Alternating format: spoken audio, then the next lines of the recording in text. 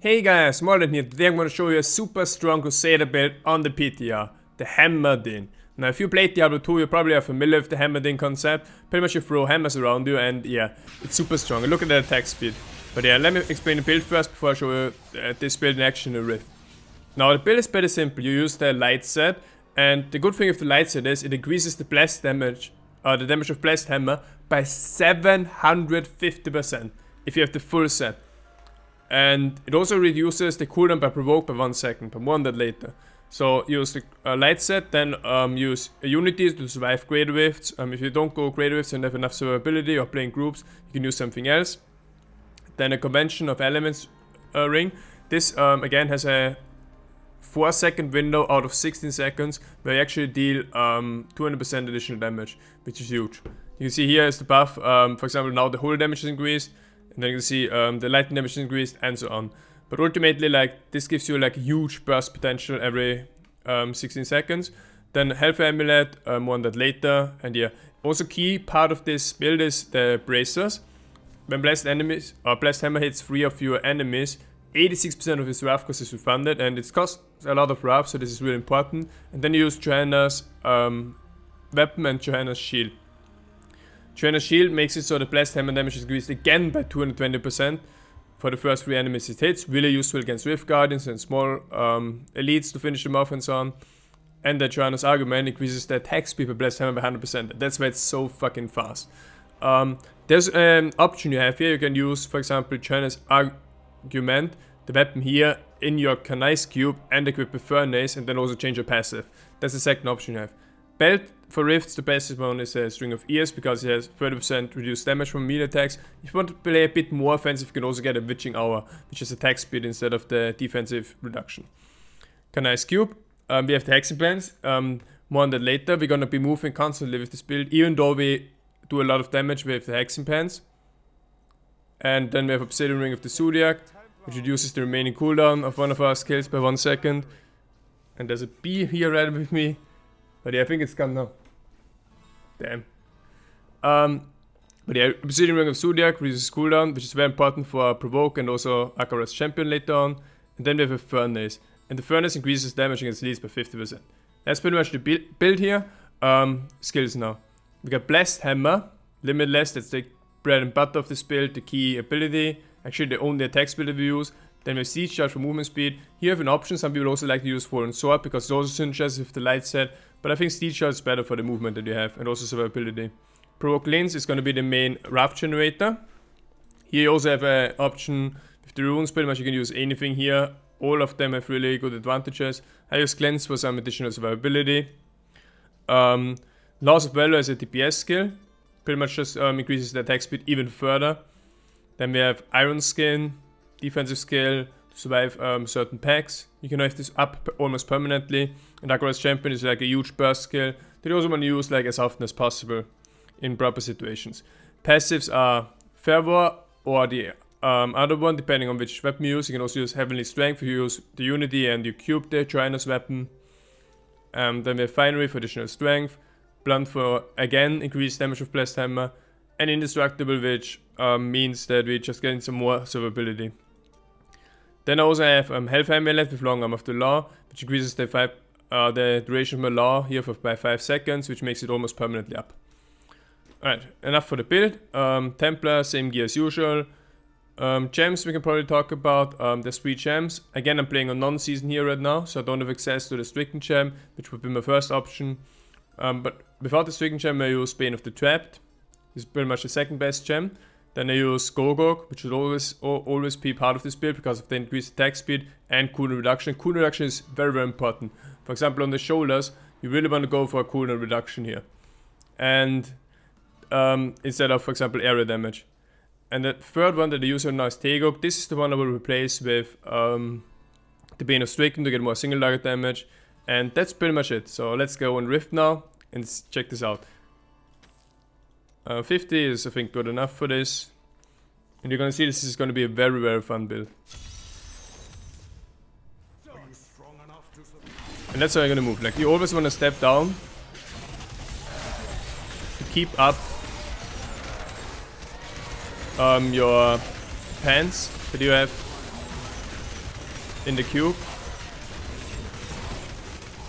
Which are the hexing pants, and hexing pants make it so when you move, you do 24% or 25% more damage, and you also um, gain additional.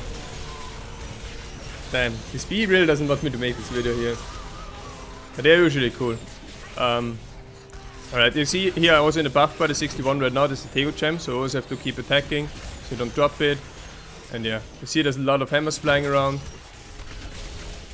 Always use Provoke, which is life on hit, survivability and um, wrath generation. And you keep going. You throw in a defensive skill, pull everything, kill everything. That's pretty much how the build works. Now there's in lead pack, so I'm gonna use Akarat's champion additional damage. You can see this lead pack integrated with 50, and that's not even good gear to have. Like, I have maybe one or two ancient items going down pretty easily.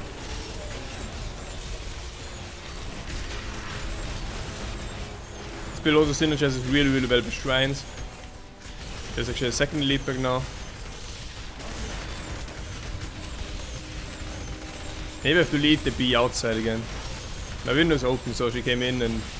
Maybe she wants to, like, uh, check out the Crusader build or something. But yeah. You can see this is going very, very smoothly. Haven't lost my Tego gems yet. And the only annoying thing is like you can't just stand and cast your hammers, you always have to move. But that's good anyway, because um, you kill so fast with all the hammers around you that you want to be moving constantly anyway.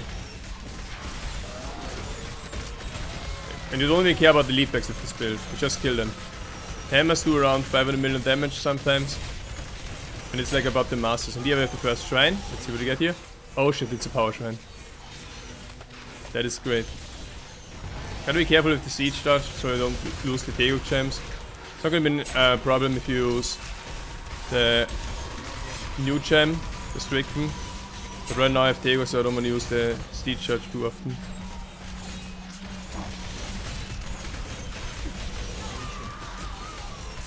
Keep the big hammer wave up. And doesn't leap. Just if the last bit of the power shrine will be good enough to kill his elite. And it's er already down. See the rift, we have a big lead here now. Pulled. So ability, um, when this build is not that great, but if you use all the cooldowns, example the iron skin, the right time, you should not die. As long as the gear is appropriate for whatever rift you're doing. I mean, you go a bit low sometimes like now, but that's okay.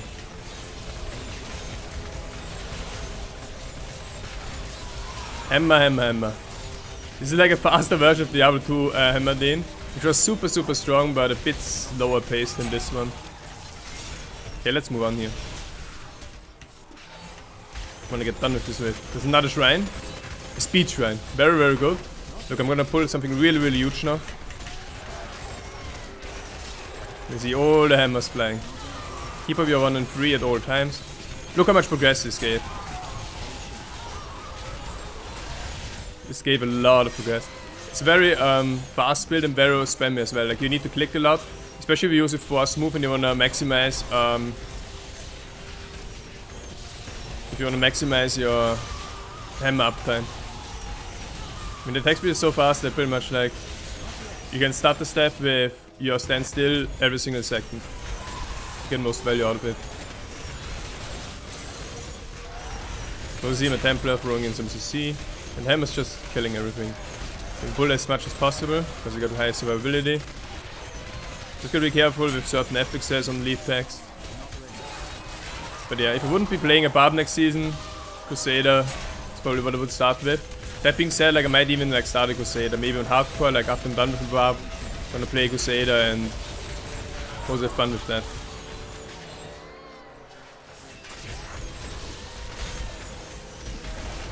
There's a lot of monsters again.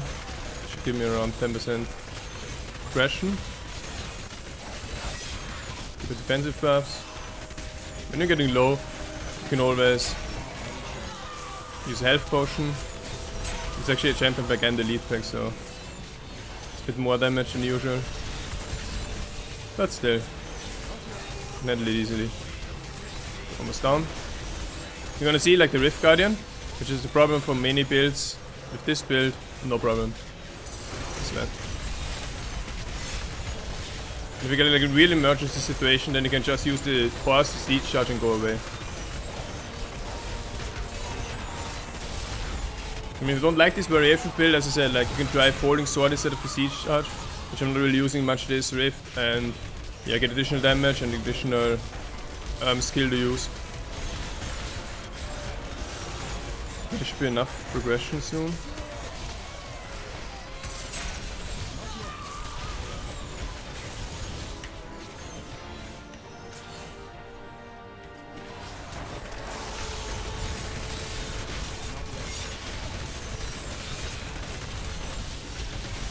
Is my final boss I'm up here before the Rift Guardian. Didn't even get a conduit in this Rift, but still. Should spawn very quickly now, this Guardian. I'm er trying to maximize my er Wrath before, and there he is. Keep up Tego one last time. And it's the Bone Warlock. Now I see how fast I kill this. Once the hammer's up, he's going down fast. Got all my buffs up.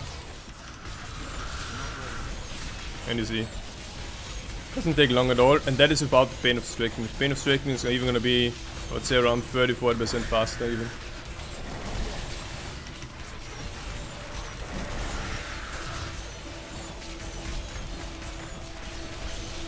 It's gonna be a 5-6 minute whip.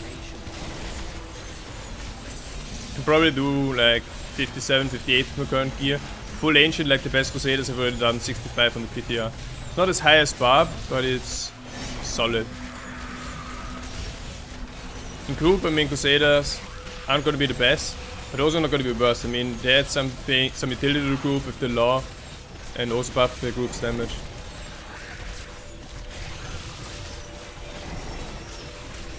And there we go. That's the rift. And that is the Crusader build. So we're gonna upgrade the gems quickly. Not really much you can upgrade though. 8% chance, very low. And yeah, hope you guys enjoyed the build. If you want to play um, Crusader, I think it's definitely fun to play it this way. Um, they buffed the hammer damage a lot in this patch, and Hammerdin is actually a really viable option now. It's fun playstyle as you were able to see, and yeah, I hope you guys had fun with the video and build. Thanks for watching, I'll be back.